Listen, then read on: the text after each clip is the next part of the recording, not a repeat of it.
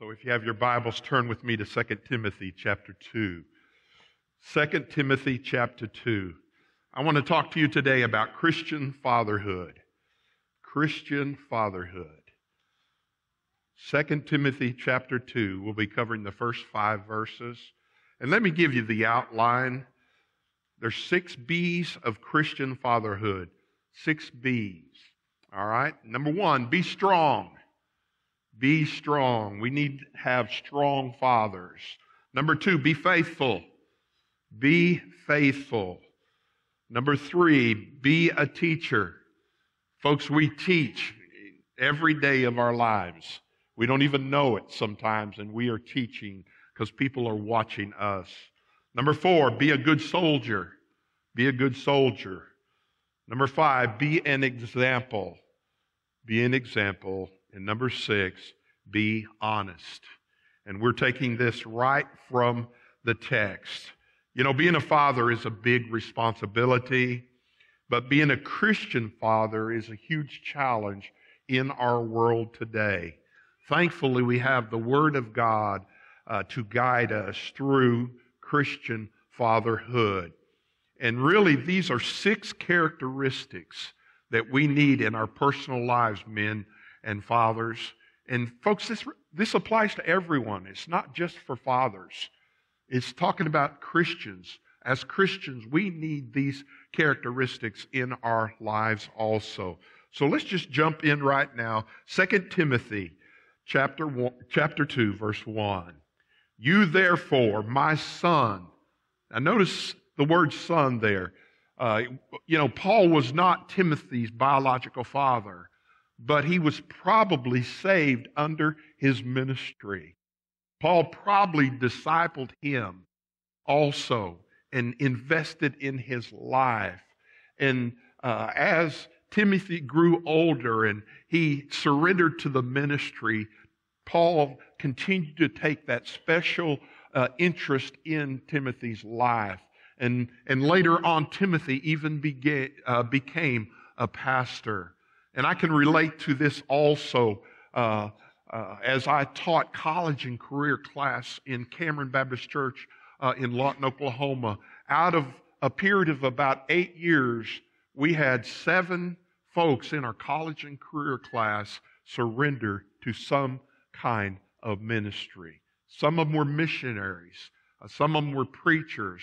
I know one of them became an educational director, and one became a, a, a ladies' leader, a women's leader. And so it's really, really important we, as mature Christians, invest in the lives, uh, you know, of young people. You, therefore, my son, be strong in the grace that is in Jesus Christ. Folks, we all live under grace. God's riches at Christ's expense. We all have experienced the grace of God in our life. And we need to extend that grace to people around us. Nobody's perfect. Nobody does the right thing every time. And we need to be ministers of encouragement. We need to encourage the young families and the young fathers and the young wives in the ministry. So we need to be strong. And there's several kinds of strength. Uh, here, I want to mention you can be mentally strong. We need mental, mentally strong men. We need to be physically strong. That means work. All right. Even on the mission field, I'm telling you, it's a lot of work. We need to be emotionally strong in supporting. You know, our, you know, our times just go up and down and, you know, there's all kinds of, of things and emotions that people have. And uh, we as fathers need to understand that, uh, you know, especially our daughters go through emotional times. But the, top, the kind of strength uh, I think the Word of God is teaching here is spiritually strong. We need spiritually strong fathers. I cannot tell you how important that is. Why? Because there is an attack on the family, folks. You look at this world, you look at advertisements, you look at agendas, and they are attacking uh, the fiber of our nation. They're saying right is wrong and wrong is right. And if you want to, if you feel it and, you know, it's okay with you, then it's okay. But folks, what the Word of God says is what we need to go by. We need biblical families. We need biblical fathers who are strong. And one of the areas that our fathers need to be strong is in spiritual warfare. God has blessed us with families and blessed us with children. And we are responsible spiritually for our families. Look in, uh, if you would, with me to Ephesians chapter 6. Just turn back just a little, few, few chapters. Ephesians 6, verse 10. Ephesians 6:10 Finally my brethren he's talking to Christians be strong in the Lord and in the power of his might Men, we can't do it on our own. We have to lean on God. We have to depend on God. We need to understand our strength comes from God. Put on the whole armor of God that you may be able to stand against the wiles of the devil. I'm telling you, men, fathers, the devil is attacking our families. He's throwing those arrows at our families. He's trying to discourage our kids. He's trying to depress our wives. He's trying to take over. And we as Christian men need to be strong in the Lord. We need to be prayer warriors. We need to be prayer warriors. We need to lead out spiritually. Look at verse 12. For we do not wrestle against flesh and blood, but against principalities, against powers, against rulers of the darkness, against spiritual hosts of wickedness in the heavenly places. Folks, I know sometimes, uh, you know, there are relationships and family where there's clashing. Me and my father did not get along when I was a teenager. And I am telling you, it was my fault. I thought he didn't know nothing. I thought his rules were too strict. And I should have listened to my father.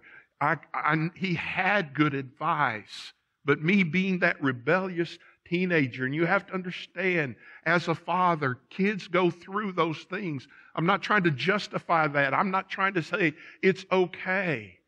But to be spiritually strong is to guide them and to help them and, and to be there for them. Sometimes they have to hit rock bottom. And that's what I had to do even in my personal life before I was saved, before I realized that I needed to be saved and had made a false profession of faith. Look at verse 13. Therefore, take up the whole armor of God that you may be able to withstand in the evil day, having done all to stand. Oh, listen to me, Father. Stand for God. Stand for the Word. Put on the armor of God. Gird your belt.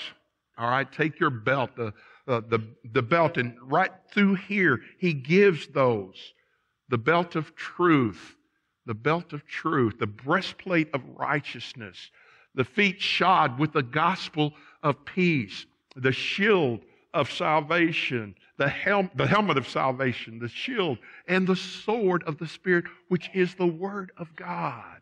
You go to battle spiritually for your family and for your kids every day before they leave the house. And you need to thank God when they come in. So, men, we need to be strong in the Lord. The second thing we need to be, we need to be faithful. Look back in our text. Be strong in the grace that is in Jesus and the thing that you have heard from me among many witnesses. And Paul was saying, hey, be faithful. Look what it says. Commit these to faithful men. Men, we need to be faithful to our wives. We need to be faithful to God. We need to be faithful to our children. Folks, faith is the basis of salvation. Faith and the, the definition we see uh, in what we know, it's trusting in God. Our faith needs to be strong. In hard times, our faith needs to be strong. We need to be positive. We need to let them know, you know, that things are going to work out. Things are going to be okay. And our faith needs to be strong in everything that we do. Faith means be committed to. Faithful means being committed to. And men, we, we commit to a lot of things. All right? We do. I mean, I coached as, as I was, uh, as Jonathan was growing up, I coached many of his teams, basketball and baseball. I never missed a practice. I was always faithful to be there. And folks, we need to do that in our spiritual lives also. They need to see you at church. They need to see your faith is strong. Matter of fact, Joshua chapter 24, go there with me if you would. Look back in Joshua 24. And we know what Joshua is based on. It's, it's the children of Israel going into the promised land. And we know the many, many things that they overcame while they were there. A city called Jericho, which they said couldn't be, you know, uh, defeated. God defeated, and, and the walls of Jericho came down. And they just kept walking all the way through the book of Joshua and taking the land because God was with them, because they were being faithful to God. And Joshua, in some of the last words that he was going to say in the book of Joshua and in his personal lives. And folks, the last words of people are quoted all the time.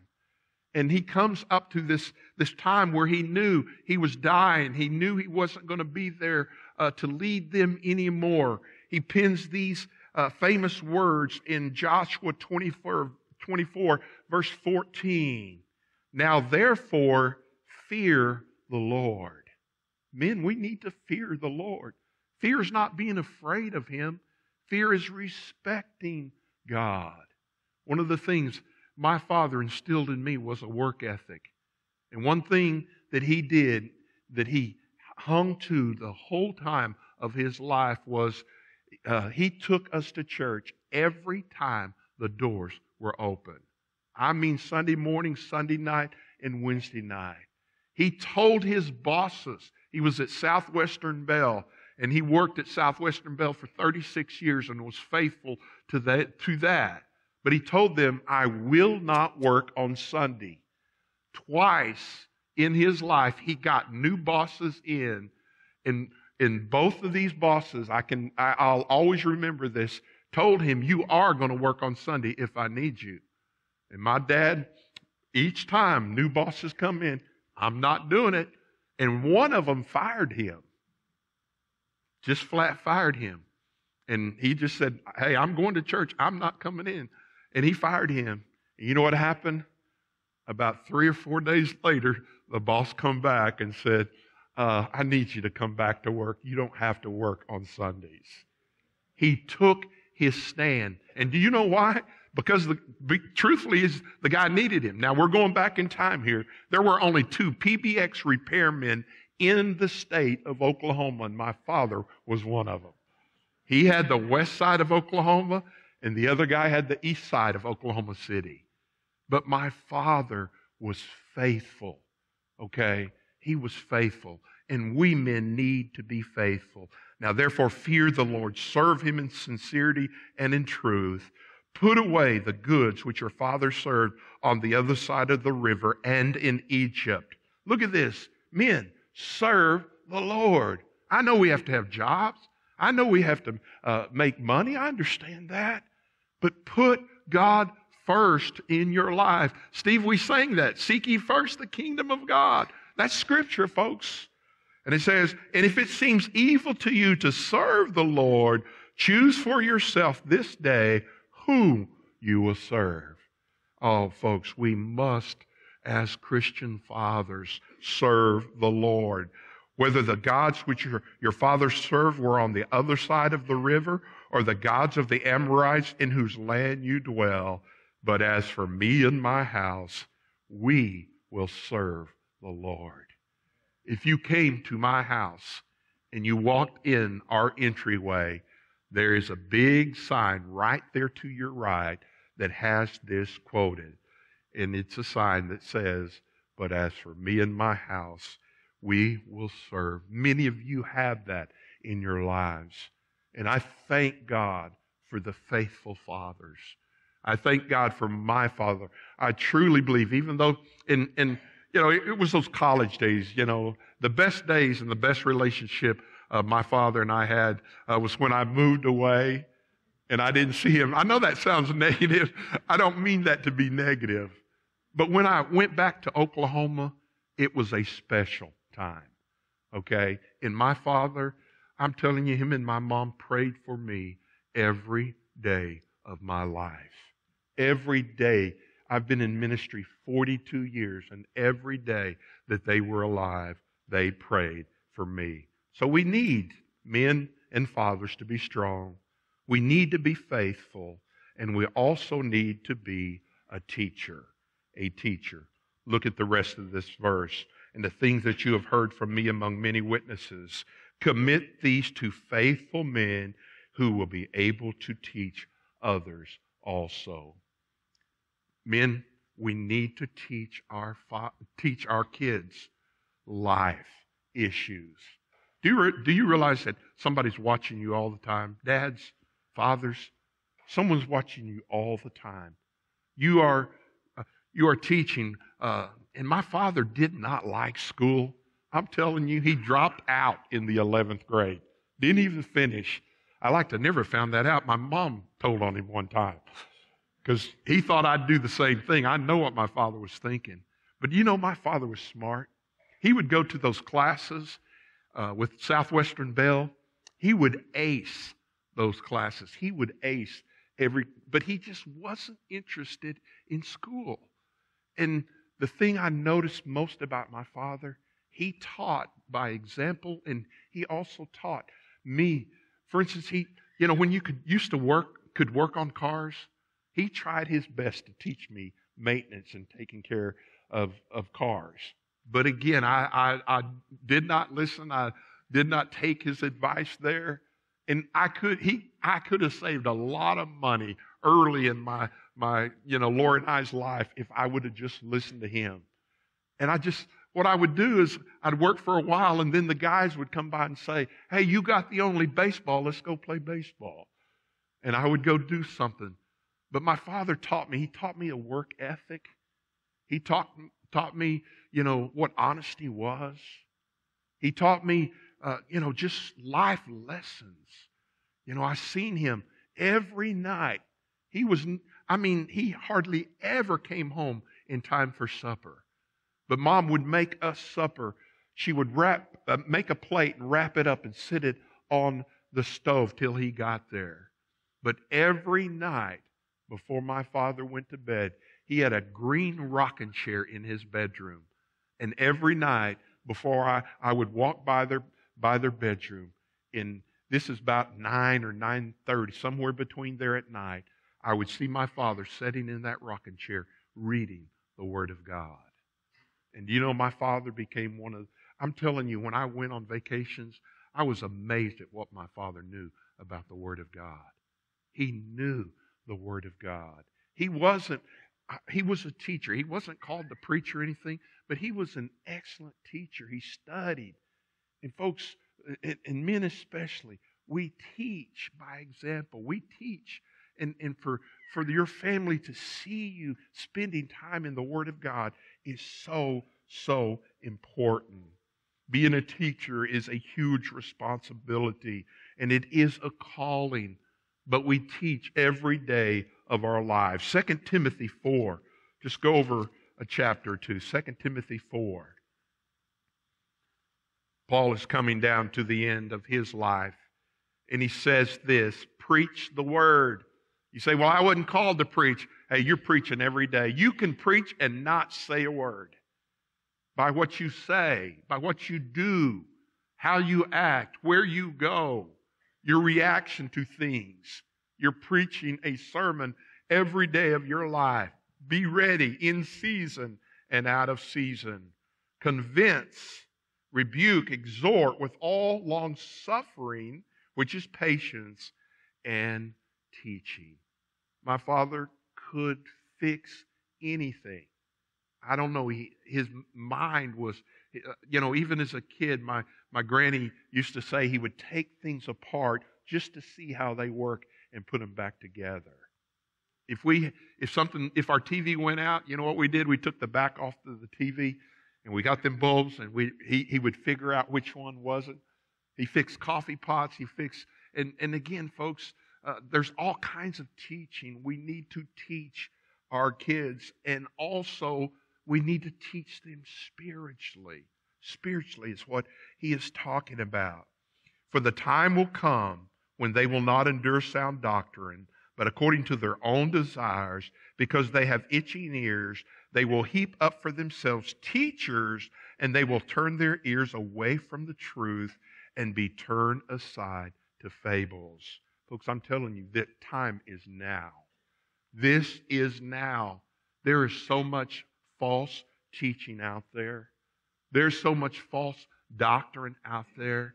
There are so many people that compromise the Word of God and they don't take it literally. They don't take it word for word. They try to change the Word of God. And folks, the Word of God is truth. It is yes. It is amen. And we as fathers need to teach the Word of God. Look at verse 5. But you be watchful in all things, uh, uh, endure afflictions, do the work of evangelist, and fulfill your ministry. I believe I got into the ministry because of the strong faith of my mother and my father. I saw them help out at church. I saw them give to the poor. I saw them emulate Jesus. And fathers, we need to be teachers in a lot of ways. So we need to be strong. We need to be faithful. We need to be a teacher. The fourth thing I w- want you to see we must be a good soldier. A good soldier. Look at verse 3. Look at verse 3. You, therefore, must endure hardship as a good soldier of Jesus Christ. I'm proud of my father's service. Uh, he uh, was in the military and he was just there for four years, but he was in the Korean conflict. And I'm telling you, he served his country well. I had five uncles, my mother's uh, brothers. All five of them served in the military. Uh, one was a helicopter pilot. Uh, you know, all of them uh, did their service uh, to our country and, and, and to our country and to our flag. And uh, folks, uh, we need to be proud of the, and, and we're going to, in a, couple of weeks, we're going to do a God and country service. And folks, we live in the greatest country in the world. And I thank God for our military men and our military women. But do you realize, men, uh, that we are, as Christians, in the Lord's army. We're in the Lord's army, okay? And, and we, as fathers, need to be good soldiers. You think about all the things uh, that soldiers have to go through. I mean, you even think about the old days uh, during the American Revolution and, you know, uh, all that was going on and the hardships uh, you know, they didn't have air conditioners uh, back then. They didn't have the things that we have now, but they just kept pushing through. And folks, living the Christian life, listen, fathers, it's not an easy thing. Raising kids in this environment and in this setting, in this time in which we live, is not an easy thing. But we need to be good soldiers. We need to show up every day. We need to show up every day. Spiritually, we need to show up. And, folks, what do soldiers do? They defend. They defend our freedom. They defend our country. They defend families. They go overseas for a long length of time at times. They're away from their families.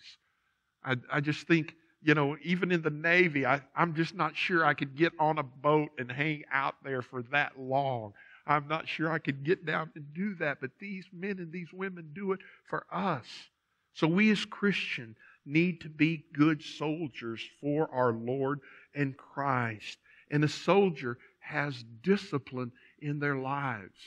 Fathers, we need discipline in our lives. We don't need to fear. When the enemy comes at us, we need to be ready for battle as we have spoken earlier. Look at Joshua chapter 1. Joshua 1. We read verse 24, but let's look back at the first part of it. And again, Joshua, who took Moses' place. And can you imagine the pressure that was on him? I'm telling you, that'd be like following Billy Graham, you know, somewhere, or following, I'd hate to follow J. Harold Smith, you know, you know, or someone like that. But God called Joshua to this. And Joshua uh, was a good soldier. And he kept telling them, listen, it's ours. Joshua and Caleb, even way back in Numbers, was saying, God's given us this land. God's going to help us conquer that. We need to go into the land. We need to do this. And pick up in verse 7.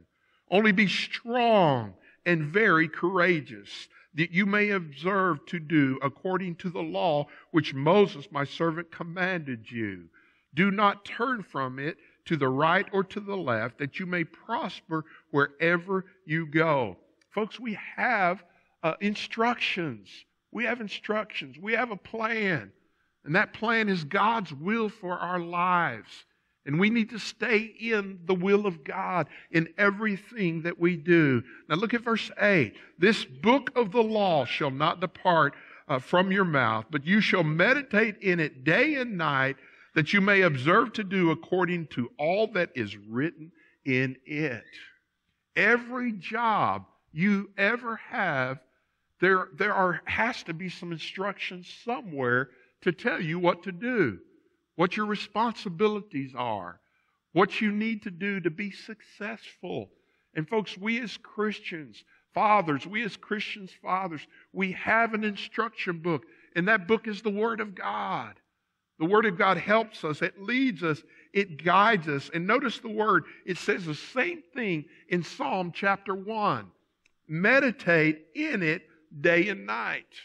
The biggest mistake Christians make in reading the Bible is being in a hurry. You cannot comprehend if you're in a hurry. You have to block out time, time well spent meditating on the Word of God. And look what he says For then you will make your way prosperous and you will have good success. Folks, you can't fail following God's holy word. You cannot fail as a Christian or as a father doing what God tells you to do.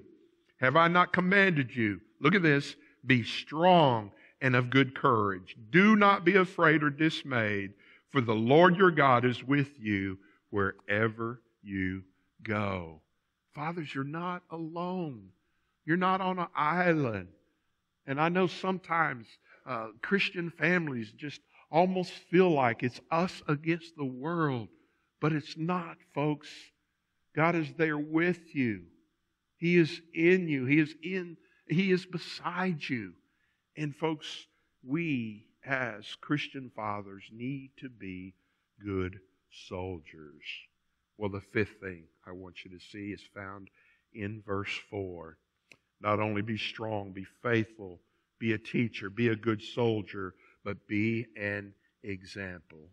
No one engaged in warfare entangles himself with the affairs of this life, that he may please him who enlisted him as a soldier.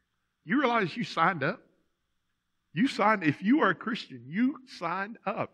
Well, I didn't see no dotted line anywhere. But when you accepted Jesus Christ into your life, you accepted him by faith. You said, God, I want you more than I want anything else in my life. You enrolled in the Lord's army, and maybe you didn't realize that was the thing that you did. But what is it talking about here? Entangling himself with the affairs of this life. Here's what I call distractions. Distractions. Anything that takes you away from God. Anything that comes between you and God is a distraction, and you don't need it in your life. You don't need it. And again, you know, this is my personal thing that I did years ago, okay? And it was I walked away from Facebook. And I tell you why. It became a distraction in my life. I would spend more time on Facebook than I would in the Word of God. I would spend more time on Facebook than praying like I should. And folks, I am telling you, the, the national media and, and the internet and all these things, it is killing our personal relationships. It hurts our relationship with God. And again, I'm not saying throw Facebook away. I'm saying you write down, I double dog dare you to do this. You write down this week how, how many hours you spend. Now, don't change it. Okay, don't just say, I'm going to put it down. Just do what you normally do, and you write down how many hours you spend on. I, we were at a restaurant uh, yesterday. I started looking around and counting my table. I'm telling you, every table, the first five tables that I looked at, somebody was on their phone while we were eating. What if we spent that much time in the Word, Father?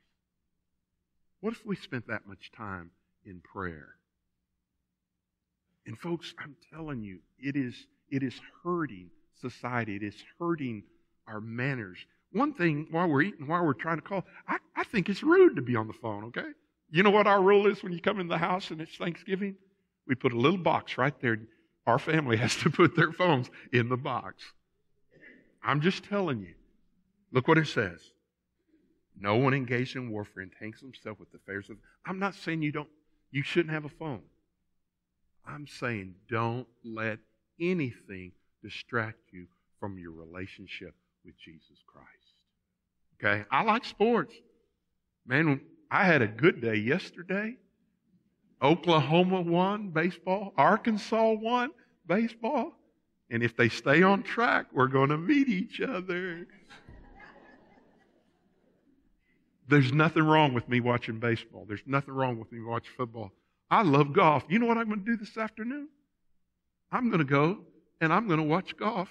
And in about six minutes, I'll, I'll be out. There's nothing wrong with watching TV.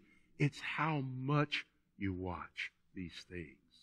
These are distractions, men, into our life, and we need to be good role models.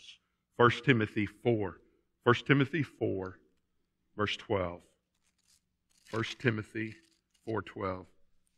Well, I was in 2 Timothy. 1 Timothy 4.12. Let no one despise your youth. Timothy was a youth. He was a young pastor, a young man. But be an example to believers. And this is talking about your family also. To other Christians, but your family. Look at this. In word, in conduct. We men, we need to be examples in conduct. At T-ball games, can I help you here? Go to a T-ball game earlier this year, and a guy, a, a father, a, well, actually, he was a grandfather, yelling at a call at a T-ball game at the umpire. The kid wasn't even shaving yet that was umpiring. Folks, quit it in conduct, in love, in spirit, in faith, and in purity. Folks, our kids see how we react to things. They see the example that we set, and we need to be a good example. And the last thing, the last thing is be honest. Be honest. Exodus 20, you don't have to go there because you know it. Thou shalt not bear false witness. We need to be honest, men. My father was one of the most honest men I've ever met in my life. He really is. His word was truth. If you tell your kids you're going to take them somewhere, take them there. Be honest in everything. deals, business deals, anything. If somebody gives you too much change, go back to the store and give it back to them. Well, that was their mistake. No, folks, you can, you can influence your kids because you went back for that reason, and you can also encourage the person that made a mistake. So let your word don't lie. Never lie. Don't lie to your kids. Don't. Don't. Because they will turn out to be liars also. So be honest in everything you do. Well, Christian fathers and grandfathers, I know we have a lot of grandfathers here. I hope you are taking your responsibility serious. I know we're not perfect. I know even as a pastor, even as a father, even as a grandfather, I don't always do the right thing. Nobody does. But I want to do that. I want to be these things that we that we spoke of. I want to be strong in the Lord. I want to be faithful. I want to be a teacher. I want to be a good soldier. matter of fact, I've told Steve this. When I die, I did not serve in the military, and I love a military funeral. I love to be at the National Cemetery. Tears come up in my eyes when they play taps every time. But if I die here and I get to be buried here, on my casket, right in front of me, I want a Christian flag. I want my memories to be maybe he wasn't the best father in the world. Maybe he wasn't the best preacher in the world. Maybe he wasn't, and you fill in the blank. But I want people to know Brother Mike was a Christian. There's no doubt in my mind. And I want to serve my Lord and Savior till the day I die. I hope y'all have to pick me up and take me off of this stage because it would be an honor to die in the house of God preaching the Word of God. Dads, you have a huge responsibility. Huge. You can do it. You can do it. Father, thank you for this day. I thank you for your word. God, I thank you for our fathers. God, I know we mess up. God, I know we just uh, sometimes don't do the right thing. But God, I pray that the scripture today and the Word of God has challenged us. God, I pray that we could just forget the past. God, I pray even today, I, I pray some would come to the front and pray and just leave the past on the altar. And God, I pray that they would even go home and say to their family, hey, today's the first day of the rest of our lives. God, I want to be a good father. I want to be a great grandfather. And God, I want to be a great soldier for you. Oh God, I pray other men, even at this time, would want the same thing. So, God, this is your church. This is your time. This is your invitation. God, I pray you do with it what you choose. Maybe somebody needs to be saved today. God, I pray the Holy Spirit would instruct them. Just go down. You've been thinking about it. Just go down. I pray maybe somebody will rededicate their life or come for baptism Oh, Lord, you even join the church. I know it's Father's Day, but you can join the church on Father's Day. So, God, just do your work. In Jesus' name I pray. Amen and amen. Would you stand to your feet? If God has spoken to you in any way, would you come? We thank you for joining us this morning at Rye Baptist Church, and may God richly bless you.